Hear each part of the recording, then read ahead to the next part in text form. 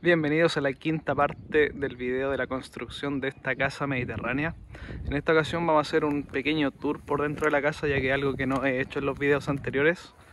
Así que, bueno, en este momento estamos viendo la vista frontal de la casa. Vamos a entrar por lo que va a ser la puerta principal, que es eso que se ve ahí. Y luego de entrar acá, como pueden ver, hay un muro frontal que va a tener un espejo probablemente, un arrimo, cierta decoración.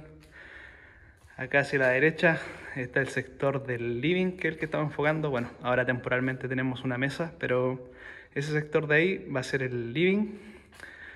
Hacia ese sector de allá va a estar el comedor, probablemente un comedor para 10 personas. Aquí en esta parte está el ventanal que da hacia el patio posterior, la parte de atrás de la casa. Ahí se ven algunas habitaciones. En ese sector de allá va a estar la piscina. Y hacia acá no se alcanza a ver bien, pero va a estar el estacionamiento. Bueno, aquí volviendo al living comedor. En este sector de acá va a estar la cocina. Ahí como pueden ver al medio de la imagen está lista la instalación para el lavaplatos. Acá en este sector va a estar lo que es el refrigerador, ahí donde está esa cocina temporal también. Y acá hay una puerta que da directamente a la parte de atrás de la casa. Y si giramos un poco nos vamos a encontrar con lo que va a ser el estacionamiento. ¿ya? Eh, bueno, volviendo hacia adentro, aquí pasamos nuevamente por el comedor. Pasamos nuevamente acá por la entrada bueno, así se ve la vista hacia afuera desde acá. Está medio desordenado todavía, el pasto un poco seco. Pero bueno, son cosas que se van a ir arreglando después. Ya aquí está el pasillo. Bueno, acabamos de ver el sector público, ahora esto se le llama el sector privado. Aquí está la ventana que se ve desde afuera, como pueden ver, percibe bastante luz. Y aquí está el baño principal de la casa. Ya, ahí como pueden ver ya tiene su cerámica, Ahí está la ventana bloqueada por el momento, ahí está el sector de la ducha. Acá en este sector está cerrado por el momento, así que lo voy a mostrar más adelante, pero es el sector de mi oficina. Eh, es como una pieza más en realidad, es como es el tamaño. Acá en este sector hay una de las piezas, se ve bastante grande, va a ser un poco más chica así porque se va a dejar espacio para el walking closet, ahí donde están las bicicletas va a haber un walking closet. Así que es un poco más chica de lo que se ve en realidad. Acá al frente hay otra pieza, esta va a ser una pieza de invitado. Bueno, todavía está desordenada y tiene un juego, una carretilla. Está el ventanal que da hacia atrás también. Y como pueden ver el cielo ya está bastante más trabajado, ya de hecho está listo. Pronto se va a empezar a trabajar en los muros y en el día de hoy y ayer se estuvo trabajando en lo que es los ventanales. Bueno, sé que hay varias dudas en cuanto a precios, cosas por el estilo. Ahí, a medida que vayamos avanzando en el video, lo voy a ir mostrando. Esta es otra de las habitaciones. Y acá está la habitación principal. Esta es la habitación más grande. Igual no quise hacer las habitaciones demasiado, demasiado grandes. Preferí mantenerme dentro de 100 metros cuadrados y darle prioridad a lo que es living, comedor y cocina. Las piezas las hice de un tamaño adecuado, o sea, igual no son chicas tampoco, pero, pero no son extremadamente grandes. Y ahí tenemos un baño en suite. En este momento está cerrado, creo que lo enfoqué en la parte 4 también, eh, no ha cambiado mucho. Y esa es la casa por dentro, cuenta con 5 habitaciones, una de esas habitaciones va a ser una oficina como dije, que es esa que está ahí. Ahí se la voy a mostrar más adelante. Y aquí estamos volviendo al espacio público. Ahora les voy a mostrar la vista desde atrás de la casa. Bueno, esta es la vista trasera de la casa.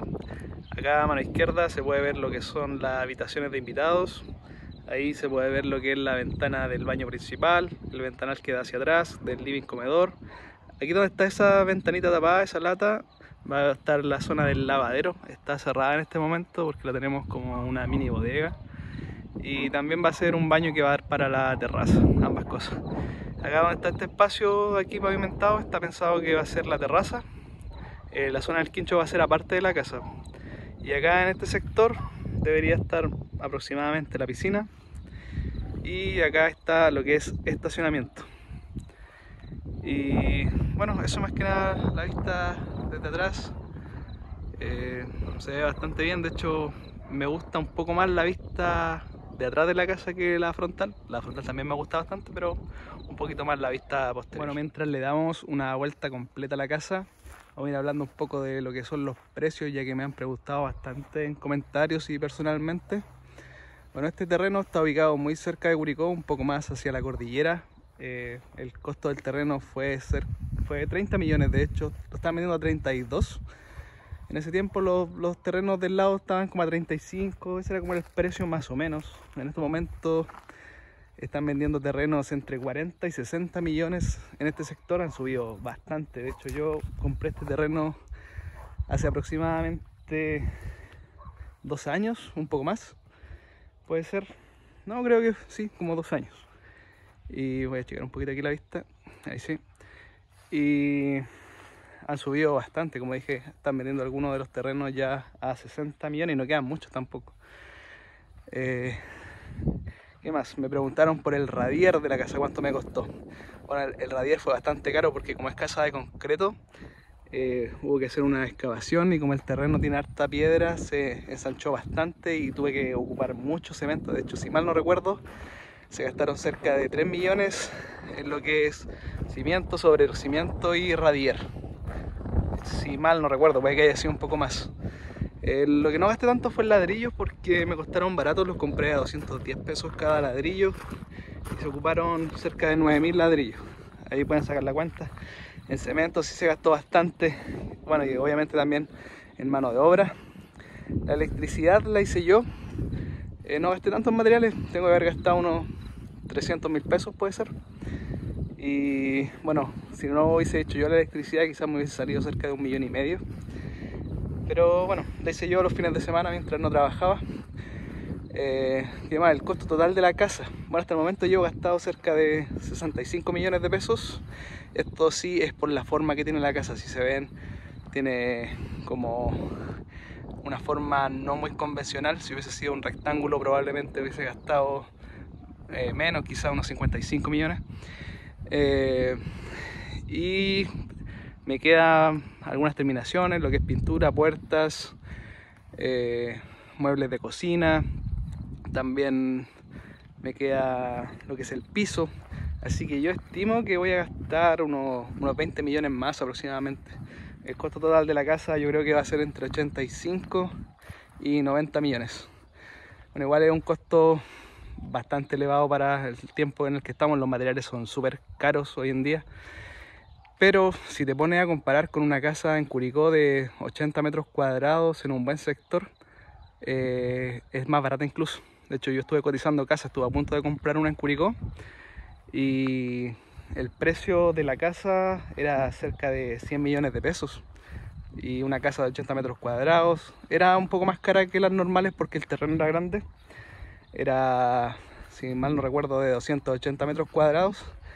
Pero si compara un terreno de 5.000 metros cuadrados con una casa de 140, un poco más barata incluso, no hay por dónde perderse. O sea, ellos eh, lejos, si te gusta vivir eh, no tan cerca de la ciudad, como dije, estamos a 10 minutos de Curicó, o sea, tampoco es lejos, eh, pero es mucho, mucho más conveniente. Si, en total, bueno, este terreno lo compramos a medias con mi papá, gastamos 15 millones cada uno. Allá hacia atrás va a estar la parte de mi papá. Así que yo en particular hasta el momento he gastado 80 millones de pesos. Pienso gastar unos 20 más, van a ser 100, que es exactamente el mismo monto de lo que me hubiese costado la casa en Curicó. Bueno, yo trabajo de la casa actualmente, así que para mí no es mucho problema no vivir en Curicó, solo necesito internet. Así que, y bueno, pienso mantenerme trabajando así. Así que no debería ser mucho problema para mí trabajar desde acá. Bueno, eso es todo lo que tenía que contarles. Si hay más dudas me las pueden dejar en los comentarios, no tengo ningún problema en responderlas. Así que ahí me están preguntando en caso de cualquier cosa.